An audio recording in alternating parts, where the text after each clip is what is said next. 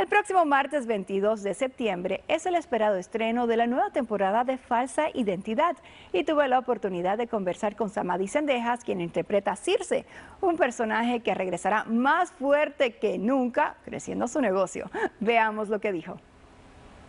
¿Tú no vas a ¿Dónde vas?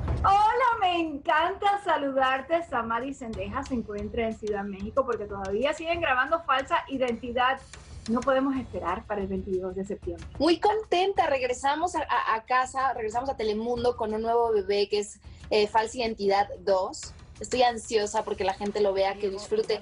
Fue, fue difícil, sí fue difícil, se nos puso una pandemia en plenas grabaciones, pero creo que eso nos unió y, y le echamos muchísimo más ganas al resultado para que la gente nos pueda aceptar con mucho cariño en casa. Amadi, vamos a recordarles al público en qué quedó el personaje de Circe. El personaje de Circe en la temporada 1, ¿en qué termina? Termina en el hospital. Te voy a ser súper honesta. Yo cuando me dijeron, estás en el hospital con un balazo en, los órganos principales, dije, ya no voy a hacer segunda temporada. Ya que murió Circe.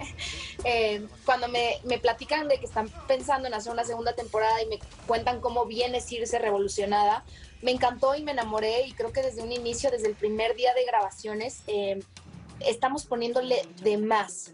Eh, muchas escenas de pasión, muchas, eh, muchas escenas de, acción.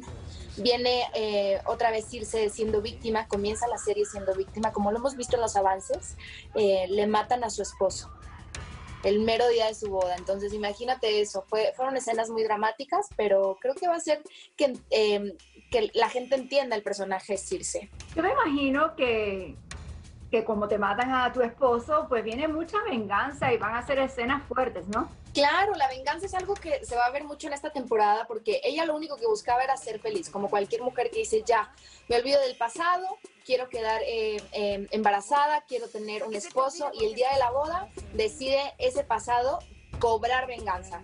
Entonces, eh, fueron unas escenas que grabamos. Ese día yo terminé, te lo juro que muerta, pero creo que son escenas eh, que van a valer mucho la pena y que le va a gustar mucho a la gente. Aparte viene muy sensual otra vez esta mujer. Circe viene otra vez muy sexy. ¿Qué podemos esperar de esta temporada? En esta temporada van a ver mucha acción, van a ver a esa mujer que toda, toda mujer tiene, escondidilla. Yo siempre digo que todas tenemos un poco de Circe. Bueno, pues me encanta conversar contigo. Espero verte en persona muy pronto y te mando un besote bien grande desde Miami. Eres una bella, te mando muchísimos besos y gracias por, tu tiempo, lo valoro mucho. Y que no se pierda el público este gran estreno de Falsa Identidad del próximo 22 de septiembre. Yo te estoy ofreciendo negocios, buitre, nada más.